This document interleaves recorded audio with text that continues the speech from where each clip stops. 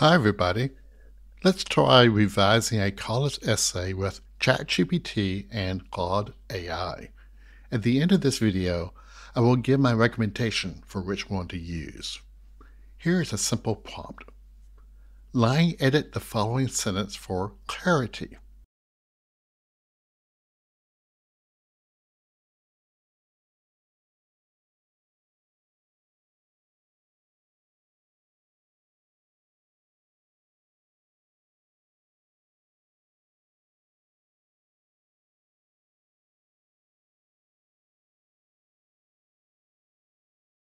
That did a good job with the first phrase, but didn't touch the second phrase.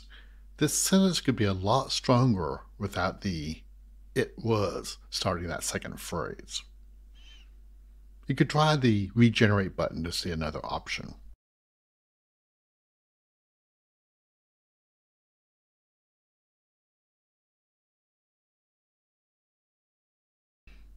We see a lot of improvement in the first phrase, which is now a standalone sentence. The last part of what was the second phrase is stronger with the wording facil- facilitated the emergence instead of allowed for markets of black tar heroin to arise. Notice that the AI also corrected the proper spelling of heroin. I'm troubled by this, however it was construct. I love the word however, but I find that students rely too often on transitional words like however, therefore, nevertheless, furthermore, moreover. Transitional words are helpful, but are really annoying when using every paragraph. Students also rely too heavily on starting sentences with it. There's nothing wrong with the word it but I've seen essays where almost every sentence starts with it. When you see it at the beginning of a sentence, think of that as a flag for possibly revising that sentence. Give AI specific instructions for revising. Revise the second sentence in a way that does not use however it was.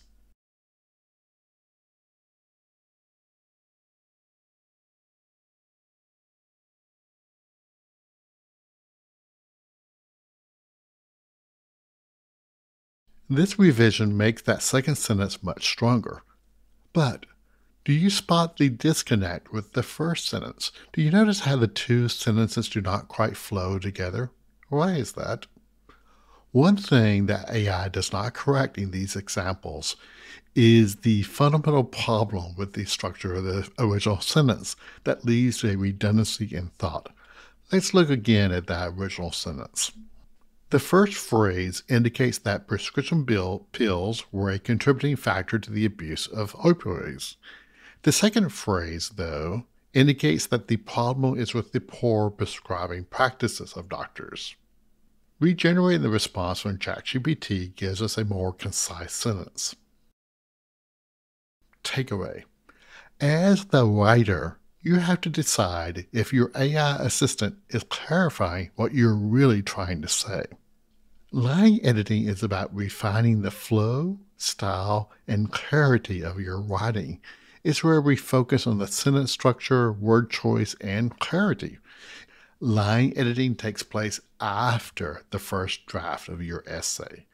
Use the first draft and even the second draft to get your ideas onto the page.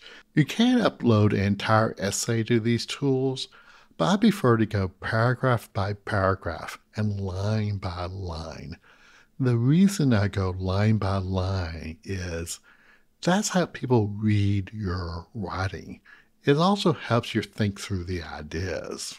Let's see how Claude.ai handles the same sentence as before. We will use the same prompt. Oh dear. I already see a problem that students will encounter with those dashes. This is a minor but important detail. Those would be em dashes. Em dashes are not surrounded by spaces. If we compare this response to even the first revision by ChatGPT 4, we see that ChatGPT 4 returned a better sentence. We can ask Claude to retry, but the sentence still has clarity problems. Plus, Claude also does not correct the problem with the fundamental logic of the sentence. Returning to ChatGPT 4, we can ask if the fundamental logic of that sentence makes sense. AI identifies that a sentence may be grammatically correct without being precise. I do like that this response provides explanation about what the sentence is attempting to say. Of course, the example I use is only the first sentence from a paragraph that further addresses the opioid crisis. At the end of this response, ChatGPT introduces a revision that could be a problem in an attempt to provide more nuance. Uh, this phrase may have indirectly fostered. That's very tentative. In college writing, we want to make a stronger claim and then follow that assertion with evidence.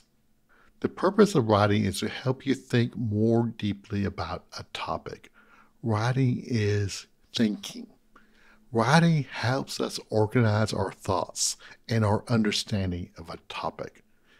I am very concerned that over reliance on AI will lead to a loss of deep thinking skills Yet, I must admit that is already a losing battle. Many students, if not most, will simply upload their essays to AI, get the revisions, and call it a day. As a teacher, what I can do is provide personal motivation for each student to take the extra step. That's not easy for students. Students are very busy taking multiple courses, participating in athletic teams, involved in the performing arts, and there's also the life of being a college student. But for those who can make the time, AI offers an incredible tool for enhancing our cognitive skills. Should you use ChatGPT 4 or Claude AI for writing help and revising your essays?